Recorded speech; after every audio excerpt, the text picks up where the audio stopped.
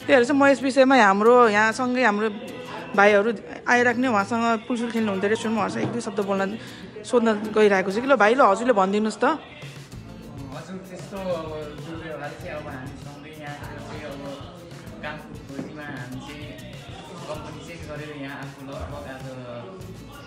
भयो। जुन अवधिभित्र चाहिँ हामी अब यही रेस्टुरेन्टमा खाने अनि बस्ने बोल्ने सँगसँगै हुन्थ्यो। जुन अवधिभित्र चाहिँ त्यस्तो किसिमको अ, दुर्व्यवहार भन्ने कुरा अब त्यस्तो हामीले उहाँले चाहिँ आज जुन महसुस गरेको थिएनौँ देखेको थिएनौँ देखेको छैनौँ अहिलेसम्म उहाँले चाहिँ अब हामीले उहाँलाई चाहिँ अब आनसानबाट चाहिँ मोटेलमा बस्ने खोज्ने क्रममा चाहिँ त्यहाँबाट एरेस्ट गरेर अझै पुलिसबाट पनि बचाएर उहाँलाई चाहिँ नेपाल फर्काइदिउँ कि। उहाँले चाहिँ नेपाल जाने बित्तिकै अब हरे- न्युजमा अब हुने नहुने शब्दहरू लेख्नुभएको छ। कसैलाई भेट्न दिएन डुल्न दिएन दुर्व्यवहार गर्यो भने चाहिँ ल भन्नुहोस् त उहाँ कति कतिजनालाई भेटेर बाहिर डुल्ने कहिले नआउने गर्नुहुन्थ्यो नि त? उहाँलाई चाहिँ अब लगभग यहाँ। तपाईँहरूसँग यहाँ आउँदा पुल पनि खेल्थ्यो। उहाँ यहाँ आएर खानासाना खाने बेला हामी हुन्थेनौँ पनि होइन र? त्यस्तो दुर्व्यवहार भन्ने चाहिँ यहाँ हामीले देखेको छैनौँ भएको सुनेको पनि छैन देखेको पनि यो बिस बाइस दिनको अवधिभित्र हामी बस्दाखेरि चाहिँ अब त्योभन्दा अगाडिको कुरो हामीलाई थाहा छैन होइन? त्यो बिस बाइस दिन हामी बसिसक्छौँ अहिलेसम्म। यस अवधिमा चाहिँ हामीले त्यस्तो देखेको छैन। ऊ चाहिँ फोनमा कतिजनासँग कति भल्गर वर्ड्सहरू पनि बोल्नुहुन्थ्यो त्यो पनि सुन्नुभयो होला तपाईँले होइन?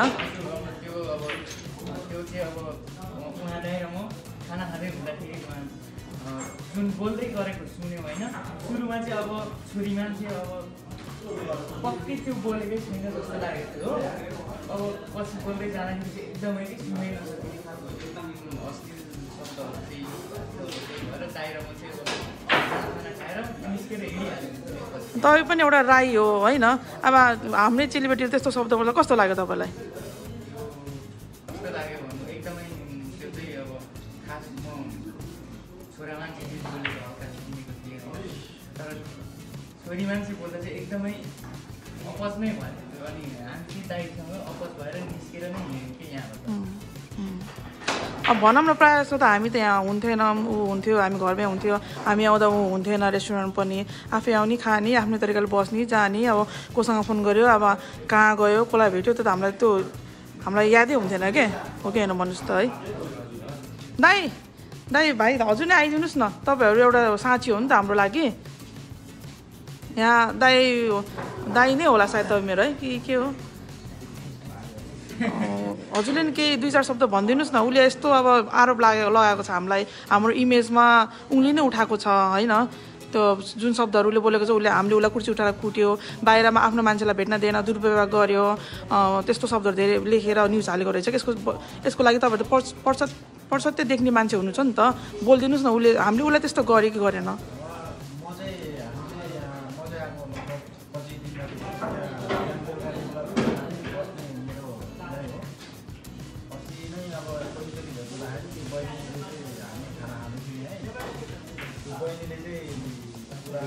त्यस्तो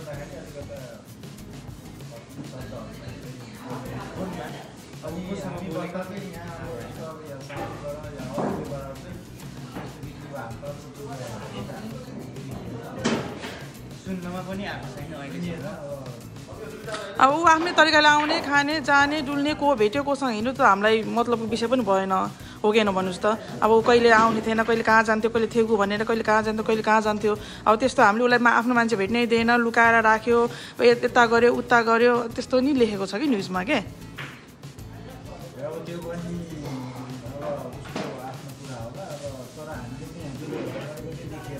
भाग्नु भएको नि थाहा पायो होला नि ऊ यहाँबाट। अनि हामी उसलाई कसरी खोजेर खोजेर लागि पऱ्यो थाहा होला नि भाइलाई नै हो कि भन्दा। दिन रात तिन तारिकबाट कन्ट्याक्ट ऊ एक तारिकबाट भागेर दुई तारिक बेलुका मैले थाहा पाएर तिन तारिकबाट हामी कति कसरी खोजेको थियो उसलाई भन्नुहोस् त। थाहा छ नि हजुरलाई होइन? कति हामीले उसलाई रिक्वेस्ट गरेर पनि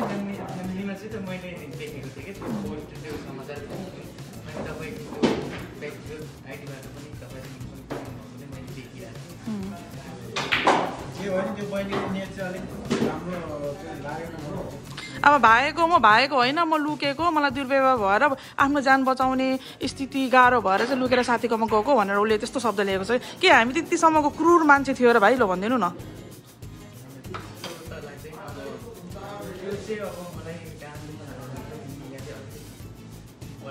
बढाउनु नि अति धेरै बढायो जस्तो लाग्यो मलाई त है।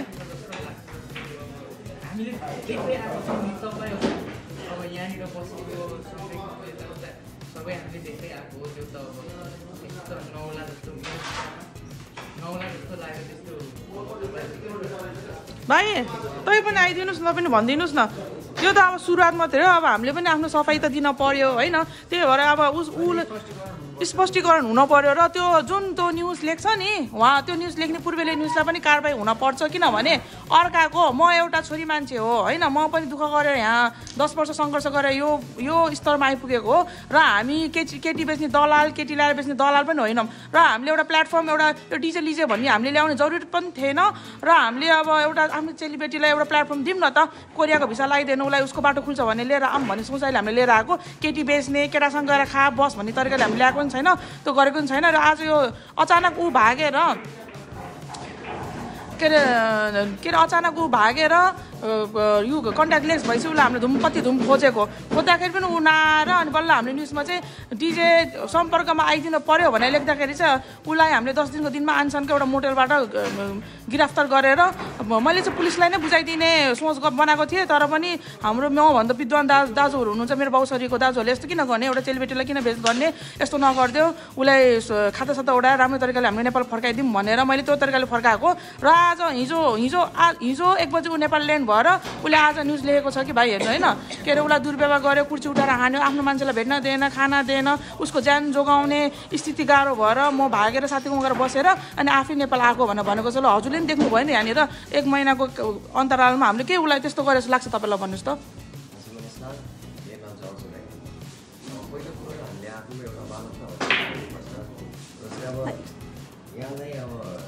हजुर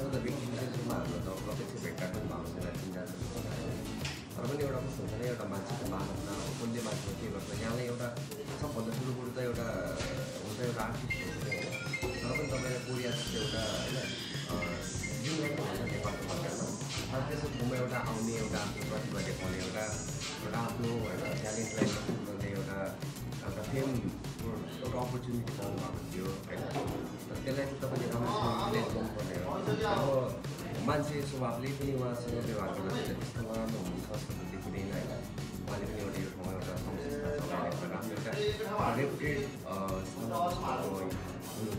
एकैछिन है अमर कार्कीजी तपाईँले रेस्टुरेन्टको सिसिटिभीको कुरा गर्नुभयो नि भाइ। हजुर रेस्टुरेन्टमा सिसिटिभी छ र हरेक एक्टिभिटिज उसको क्याप्चर उसले कोसँग बोलेको छ त्यो चाहिँ म सबै भोलि अहिले म कजेमा छु भोलि उसको ऊ चाहिँ धेरै जस्तो किमेमा बस्थ्यो कि कार्यक्रमको लागि। म भोलि त्यो क्याप्चरहरू सबै निकालेर र उसले को कोसँग के के बोलेको छ र कस्तो खालको भल्गर वर्ड्सहरू बोलेको छ एउटा छोरी मान्छेले त्यस्तो शब्द त हामी बोल्न पनि सक्दैनौँ कि। तर पनि त्यस्तो खालको भल्गर शब्दहरू बोलेको छ म त्यो सबै अपडेट गराइदिन्छु तपाईँहरूलाई। है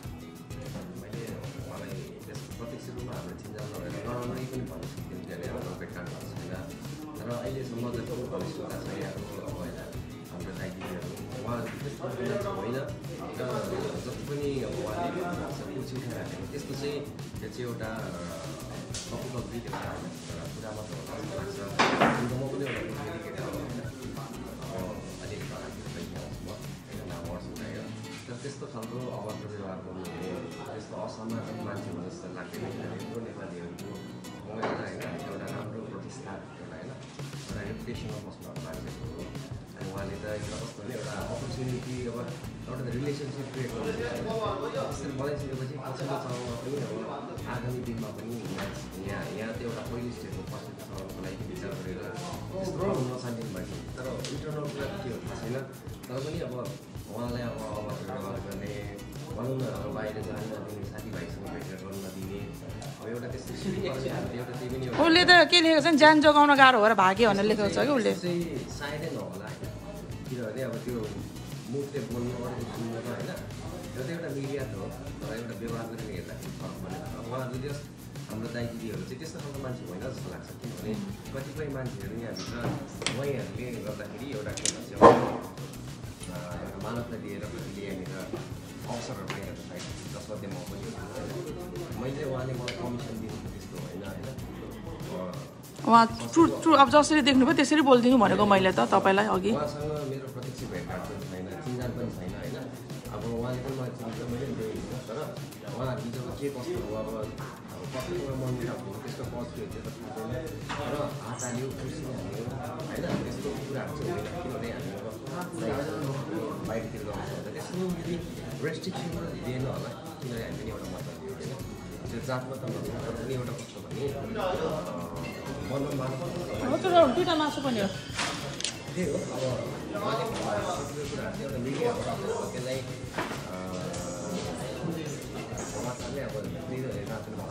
अब आफू आफू पब्लिसिटी पाउनको लागि मैले नमस्ते म परि गुरुङ र मैले चाहिँ डिसेम्बर डिसेम्बर होइन जनवरी डिसेम्बर एकतिस तारिकसँग चाहिँ ऊ मसँगै थियो किमेको रेस्टुरेन्टमा। किनभने हाम्रो डिसेम्बर अट्ठाइसदेखि अट्ठाइस शनिबारबाट हामी के अरे किमेको लुम्बिनी रेस्टुरेन्टमै गएर हामी बसेको थियौँ र अट्ठाइस उन्तिस तिस एकतिस तिस एकतिस एकको दिउँसोसम्म मसँग थियो कि? त्यो चाहिँ मैले उसलाई कजेतो पठाइदिएको थिएँ। अब तिन तारिकको टिकट छ। तिमी तिन तारिक जाऊ। तिन तारिक जानुपर्छ प्याकिङ स्याकिङ गर्नुपर्छ भनेर मैले उसलाई कजेतो पठाइदिएको थिएँ बस चढाएर र उसले चाहिँ मास्टर प्लान नै बनाएर नेपालबाट उसको साथीहरूसँग बुझ्दाखेरि उसले मास्टर प्लान नै बना बनाएर नेपालबाट नै भाग्ने प्रोसेसमा आएको रहेछ। अब हामीलाई त यो थाहा भएन। र एकतिस तारिकको दिनमा उसले अर्को अर्काको नामबाट होइन सिम पनि निकालेर त्यो एकतिस तारिकबाट हामीले किनेको सिम पनि फालेर त्यो सिम पनि लगाएर बसिरहेको छ त्यो सिमको डिटेलहरू कल डिटेलहरू म सबै लिएर आउँछु। र अनि मैले चाहिँ सोचेँ कि अब भागेन होला कतै नराम्रो काममा पऱ्यो कि कसै नराम्रो मान्छे व्यक्तिको सङ्गतमा परेर के उसमा पो छ कि भन्ने त्यस्तो सोच्दा सोच्दा सोच्दा चाहिँ खोज्दा खोज्दा खोज्दा हाम्रो मेरो दस दिन बित्यो। दस दिनको दिनमा तिन तारिकबाट खोजीमा लागेको मैले दुई तारिक बेलुका चाहिँ ऊ छैन भनेर थाहा भएको तिन तारिक तिन तारिकको दिनबाट खोजीमा लाग्दाखेरि उसलाई तेह्र तारिक बाह्र तारिक आनसानको एउटा आनसानको हुङसङ फे फेङ्गाङ अ, मोटेल सुरिम मोटेलको तिन सय दस रुमबाट मैले चाहिँ उसलाई पक्रिन सफल भएर पक्रेर ल्याएर पनि मैले अब उसलाई अब कस्तो खालको इन्भिटेसन गर्ने अब राख्ने कि पठाइदिने कि भन्दाखेरि अब एउटा छोरी चेली हो उसको बेजत हुन्छ उसले धेरै गरी खानु छ भनेर नै उसलाई चाहिँ एउटा सम्मानको सम्मानको साथमा चाहिँ सोमबार नौ बजेको एउटा थाई थाई एयरलाइन्सको थाई एयरलाइन्समा मैले उसलाई राम्रोसँग पठाइदिएको कि सम्मानै गरेर कि र उसले नेपाल गएर उसलाई जुन कुर्सीले हान्यो उसको ज्यान जोगाउन गाह्रो भएर ऊ भागेर साथीकोमा गएर आश्रय लिएर बसेको जुन कुराहरू भनेको छ नि त उसले कसरी बोल्यो कुन तरिकामा बोल्यो अब पत्रकारले पूर्वेली पत्रकारले कुन तरिकाले लेख्यो त्यो मलाई थाहा भएन र उसको हरेक शब्द उसको हरेक भिडियो क्याप्चर र ऊ ऊ कोसँग कतिजनासँग ऊ हिँडेको थियो र हिँडे बापत उसले के के पैसाहरू लिएर आयो त्यो सबै म मान्छे लिएर आउन सक्छु के? तर नि मैले एउटा किन एउटा छोरी मान्छे भएर एउटा छोरी मान्छेलाई किन बेइज्जत गर्ने? उसको पनि स्ट्रगल छ उसको ब्याकग्राउन्ड पनि छ ऊ ब्याकग्राउन्डमा के भयो कसो भयो? त्यो हामीलाई मतलब भएन तर पनि हामीले त्यस्तो मैले त्यस्तो नगरौँ।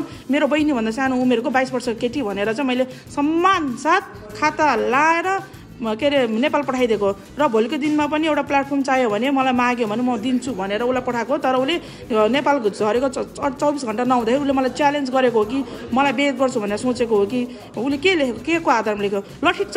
उसले मैले हामीले लुम्बिनी रेस्टुरेन्टको कुनै पनि कामदारदेखि लिएर लुम्बिनी रेस्टुरेन्टमा आउनु कुनै पनि कस्टमर लुम्बिनेसको अनु अनर परि गुरुङ एन्ड नरेश सिरिस र हाम्रो सर्कलको कोही मान्छेले उसलाई त्यस्तो खालको दुर्व्यवहार गरेको छ भने उसले प्रमाणसहित आयो भने जेल जान तयार छु म बुझ्नुभयो नि? तर यो च्याउ जस्तो उम्रेको पत्र पत्रिका पत्रिकाले चाहिँ पाइ त्यो न्युज नबनाउने कि फेरि जाला पत्र पत्रकार पनि नेपालमा। नेपाल बसेछ किन उहाँहरू कोरिया छ उहाँलाई केही थाहा छैन भनेर जता पाए त्यतै कलम नचलाउनुहोस् के? ठिक ढङ्गले तपाईँले कलम चलाउनुहोस् हो। उसले उसँग बुझ्यो उसँग बुझ्दाखेरि नि मलाई फोन गर्नु पर्दैन हँ? प्रुफलाई लिए प्रुफ पत्रकार भनेको कस्तो पत्रकार हो तपाईँहरू? एउटा प्रुफ ल्याएर लेख्नु पर्दैन? विदाउट प्रुफमा ठ्याट्याट्याट्याट जे बोले पनि लेख्नु तपाईँले? प्रुफ ल्याउनु सक्नुहुन्छ तपाईँले? दुरुपयोग गरेर कुद हानेको र मैले उसलाई एउटा नराम्रो एसएमएस लेखेको लिएर आउनुहोस् त। अहिले फेसबुकको जमाना छ म उसँग फेसबुकमा कनेक्ट थिएँ। लिएर आउनुहोस् त कुराहरू। अनि मतलब मसँग बोल्नुहोस् क्या जता पाए त्यति लेख्नु तपाईँहरू। मैले उसले यहाँ कोरिया डेढ महिना बस्दाखेरि ऊ को कोसँग हिँडेर उसले के के गरे सबै CCTV CCTV capture voice record र उसलाई भगाउने भाग्ने सबै म लिएर आउँछु। अनि बोल्नुहोस् मसँग। बुझ्नुभयो नि? विदाउट प्रुफ जे पाइदियो नबोल्नुहोस् तपाईँहरू।